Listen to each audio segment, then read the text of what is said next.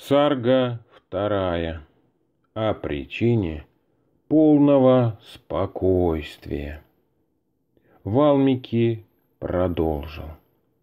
Затем лик луны начал терять свою яркость, и тьма ночи стала таять, как желание и обусловленности пропадают с пробуждением понимания.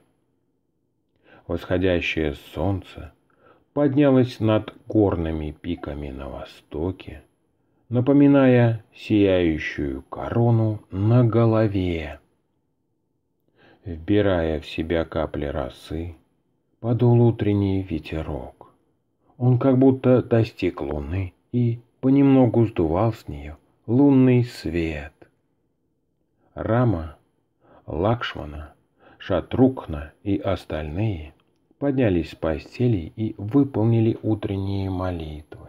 Затем они последовали к благословленной обители Васишки. Они поклонились и омыли ноги Муни, вышедшему из своей обители, после утренних молитв. Скоро обитель мудрого заполнилась другими мудрецами, брахманами, принцами и начальниками, слонами лошадьми, колесницами и повозками. Затем лучший из мудрых последовал ко дворцу Дашаратки в сопровождении армии Рамы и всех остальных. Там, уже выполнив сначала все утренние молитвы, великий царь уважительно приветствовал мудреца, издалека выйдя ему навстречу. Все вошли в зал собраний, изысканно украшенный гирляндами цветов, бесчисленными жемчугами и драгоценностями, и заняли свои места. Все слушатели из небожителей и земных обитателей, присутствовавшие вчера, пришли снова. Войдя в зал, все благожелательно приветствовали друг друга и замолкали. Царь со своим окружением напоминал лотосы безветренную погоду.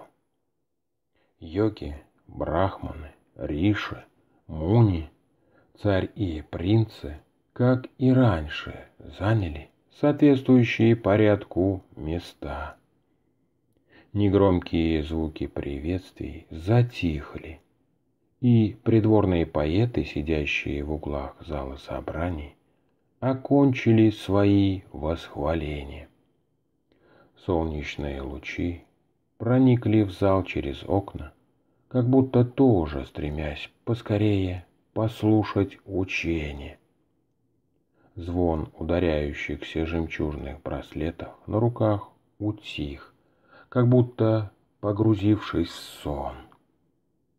Как с благоговейным ожиданием Кумара смотрел на Шиву, Кача на Брихаспати, учителя богов, как прохлада смотрел на Шукру и Гаруда на Вишну. Так Рама смотрел в лицо Васиштхи, и спокойный взгляд его устремленных глаз напоминал черных пчел, привлеченных прекрасным распустившимся лотосом. Мудрый Васиштха знаток речи, начав с того, на чем вчера окончилась речь, обратил свои слова к раме, способному понять смысл сказанного. Васиштха спросил. «О, Рама, потомок Раку, помнишь ли ты мои слова, сказанные тебе вчера, полные глубокого смысла, и служащие пробуждению к истине. Сейчас для твоего понимания, о победитель врагов, я еще раз объясню тебе это.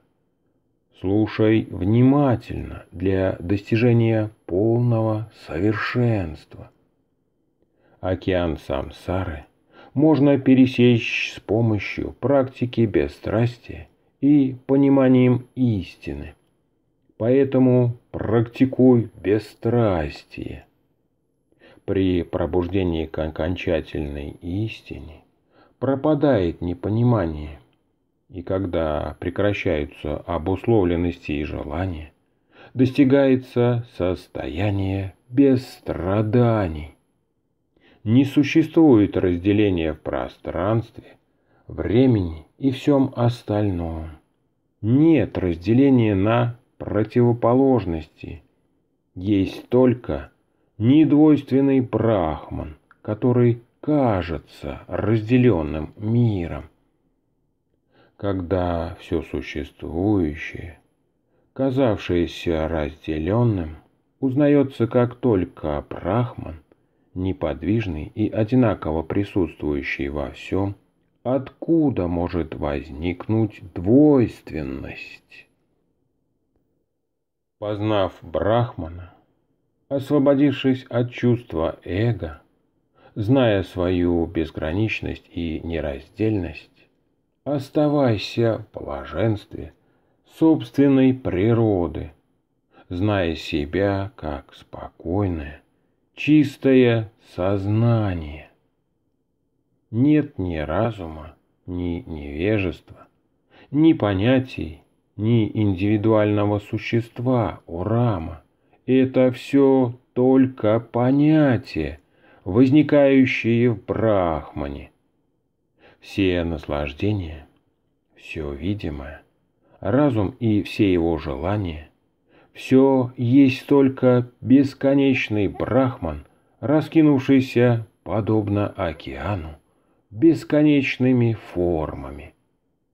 Все видимое в преисподней, на земле и на небесах, травинке, в живом существе и в пространстве есть высочайший брахман, чистое сознание и ничего другого.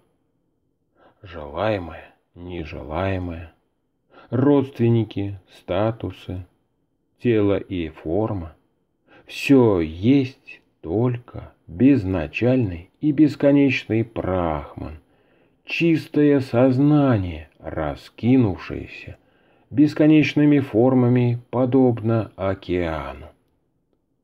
Пока остаются невежественные фантазии, пока есть ощущение отдельности, пока есть уверенность в этом запутанном мире, до тех пор остаются и понятия разума. Пока ощущение «я» относится к телу, пока «я» воспринимается как видимое, пока есть уверенность, что это мое, до тех пор разум продолжает заблуждаться.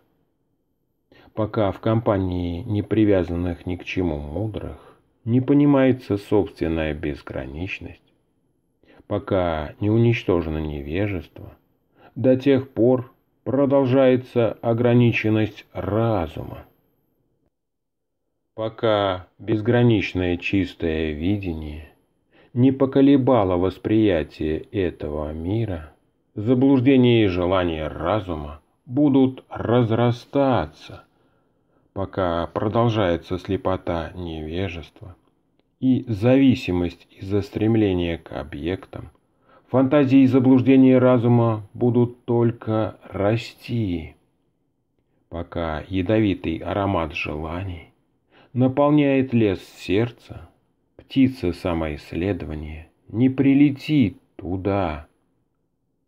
Заблуждение разума прекращается у того, чей разум безразличен к удовольствиям, спокоен, прохладен и чист, а сети желаний уничтожены. Человек, оставивший иллюзорные заблуждения, познавший бесконечное неподвижное чистое сознание и успокоивший разум, пробуждается, оставив понятие о реальности разума. Тот, кто смотрит на собственное тело, как на нечто далекое, несуществующее, нереальное и никчемное, может ли поверить в существование разума? Кто познал истину безграничного чистого сознания? кто видит все формы как самого себя, для кого весь мир растворился в себе, тот не заблуждается в понятиях ограниченности. Когда ограниченное восприятие, от которого в себе возникают иллюзорные заблуждения, прекращается, когда восходит прекрасное солнце высочайшего видения недвойственности, тогда знай, что разум пропал, как тает масло в огне, и не появляется снова, как сгоревшие сухие листья. Состояние разума великого, освобожденного в этой жизни Дживан Мукты, знающего и безграничное, и ограниченное, называется сатвой. Склонности и понятия, остающиеся в теле еще живущего освобожденного Дживан Мукты, нельзя считать разумом, ибо он стал чистой сатвой. Такие мудрецы не имеют ума и постоянно пребывают в непоколебимом спокойствии. Без усилий оставаясь сатвой, они живут и действуют с легкостью, как будто в игре. Даже действуя в мире, они остаются сатвой в спокойствии и равновесии, с успокойными чувствами. Они всегда видят свет сознания, пребывая вне понятий о двойственности и недвойственности. Обращаясь в себя, они сжигают в огне чистого сознания солому всех трех миров, и в этом жертвенном огне пропадают все заблуждения разума этих мудрецов.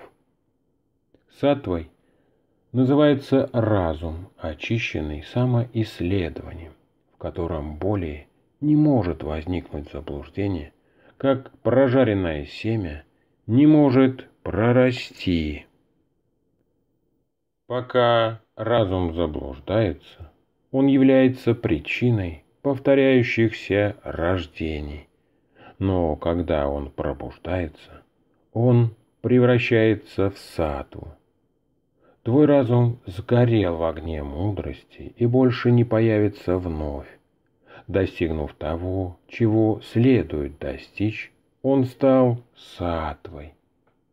Как трава после пожара или дерево, срубленное топором, скоро прорастает вновь, так разум скоро вновь прорастает желаниями, но если пробужденный чистый разум сгорает в огне самопознания, он не возникает снова. Этот мир есть только величайший брахман. Мир есть иллюзорное проявление брахмана.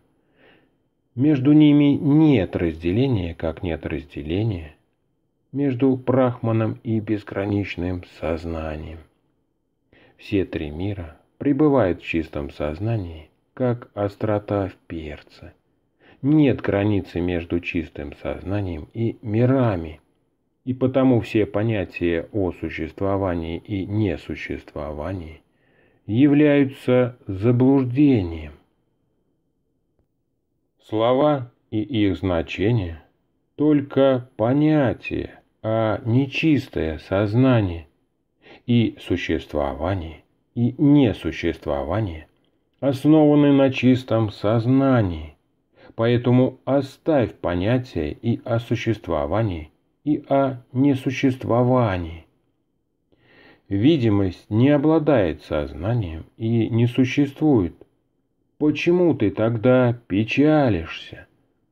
А когда не существует ни сознательная видимость, Откуда взяться иллюзии мира? Если ты понимаешь, что все всегда есть только чистое, бесконечное и безначальное сознание, тогда откуда взяться в нем иллюзиям? Ты есть чистое сознание, ты неделим, в тебе нет пар противоположностей.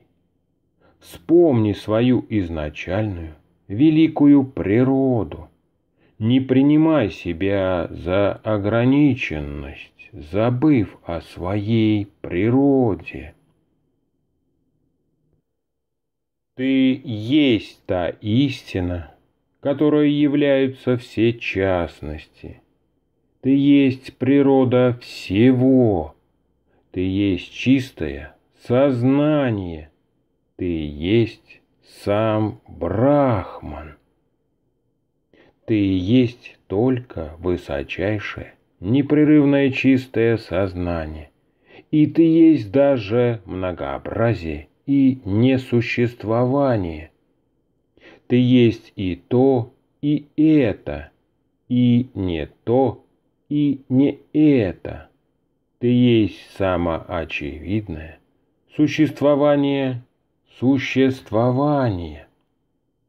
Различные объекты не ты, и ты не они. Ты есть то, что ты есть. Приветствую тебя, о чистое, нераздельное сознание. Ты есть безначальное, и бесконечное плотное и нераздельное бесконечное чистое сознание, прозрачное как пространство. Приветствие тебе, в котором безусильно появляются все миры, как в кристалле безусильно отражаются любые объекты. Такова сарга вторая – о причине полного спокойствия первой части книги шестой об освобождении Махарамаяны Шри Васишки, ведущей к освобождению, записанной в Алмике.